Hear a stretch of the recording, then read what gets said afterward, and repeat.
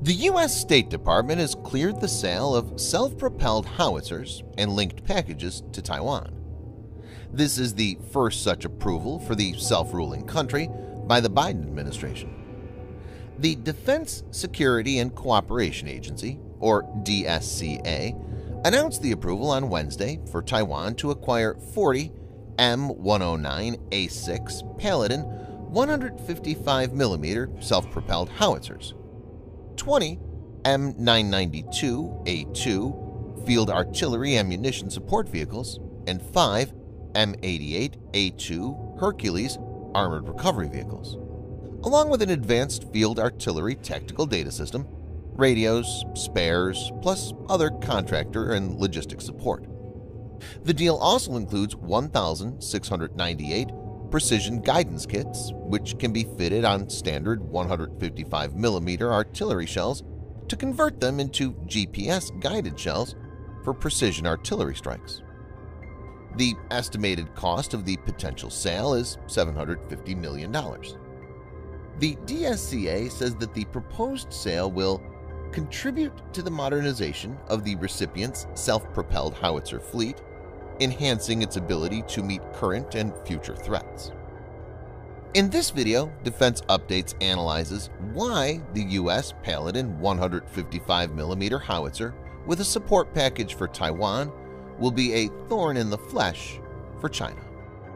This video is sponsored by War Thunder. If you are, like us, fascinated by military vehicles and technology, I recommend you give War Thunder a try. It's a military vehicle combat game which you can download and play for free on PC, PlayStation 4, and Xbox One with cross-platform support. It has a huge variety of more than 1,200 playable aircraft, tanks, helicopters, and ships from the 1930s to the 1990s, which you can take to battle on land, in the air, and at sea on more than 80 theaters of war. War Thunder's been kind enough to offer all Defense Updates viewers a special bonus, which will grant you a free premium tank, aircraft, or ship and three days of premium account time for registering using our link in the description below. So take the plunge and join more than 20 million players from around the world.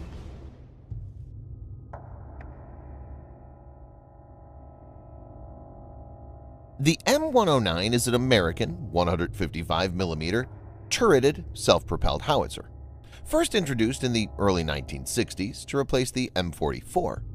It's been upgraded a number of times. The M109 family is the most common Western indirect fire support weapon of maneuver brigades of armored and mechanized infantry divisions. The M109 has a crew of four, the section chief or commander, the driver, the gunner, and the ammunition handler slash loader.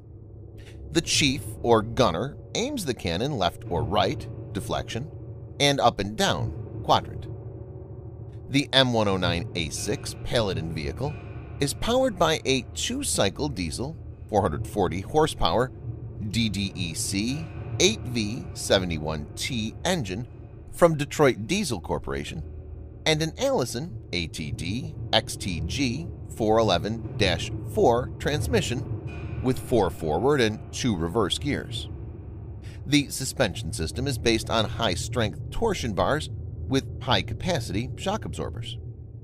The vehicle has a range of 214 miles or 345 kilometers with a maximum speed of 40 miles per hour or 64 kilometers per hour.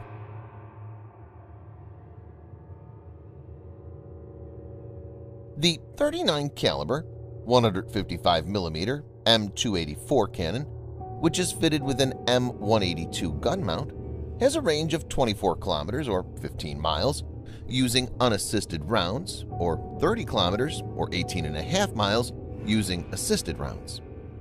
The projectile loading can be carried out using the full-stroke hydraulic system or a semi-automatic loading system. The M109A6 Paladin achieves a maximum firing rate of up to 8 rounds a minute, or 3 rounds in 15 seconds, and a sustained firing rate of 1 round every 3 minutes. The gun is operated with an automatic fire control system with ballistic computer fitted with an optical backup. The vehicle's inertial positioning and navigation system are integrated with the automatic fire control system. A 12.7mm M2 machine gun is mounted on the right-hand side of the turret.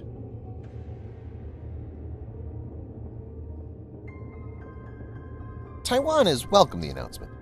The country's Foreign Affairs Ministry stated that the decision by the Biden administration demonstrates the U.S. government's commitment to the Taiwan Relations Act. Viewers may note that the relation between Taiwan and the United States is unofficial and informal, and is governed by the Taiwan Relations Act. The Taiwan Relations Act is designed to maintain ambiguity and does not state if the USA will or will not intervene militarily if China attacks or invades Taiwan. Under the Act, the U.S. is obligated to sell arms of a defensive character to Taiwan. The government added that sale would allow Taiwan to maintain a rock-solid self-defense and regional peace and stability.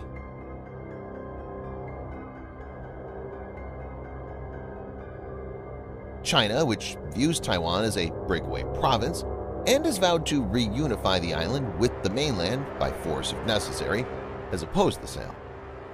Chinese Foreign Ministry spokesperson reiterated that Taiwan is an inalienable part of the Chinese territory, and the U.S. undermines China's sovereignty and security interests by selling arms to the Taiwan region. The spokesperson further urged the U.S. to stop arms sales to and military interactions with Taiwan, and immediately revoke relevant arms sales to Taiwan lest it should cause more damage to China-U.S. relations and peace and stability across the Taiwan Strait.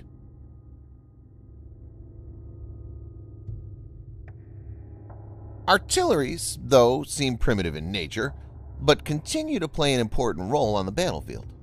They can be both a defensive and offensive weapon. An artillery barrage will keep the enemy's heads down and has also been known to have a physiological impact by demoralizing the opponent. It's cheaper and faster than air support, and modern artillery is way more accurate as compared to the old days. Advanced artillery has the ability to place highly precise, indirect fire on the enemy's assets. M109A6 Paladin is an excellent asset and will come in very handy in the defensive role. The distance between Taiwan and China is around 200 kilometers or about 125 miles. Viewers may note that only 10 to 12 percent of Taiwan's coastline is suitable for amphibious landing, and this removes any possibility of surprise attack. An amphibious assault is one of the trickiest operations, and China has no real experience in this. M109A6 Paladin could be used to thwart any landing attempt.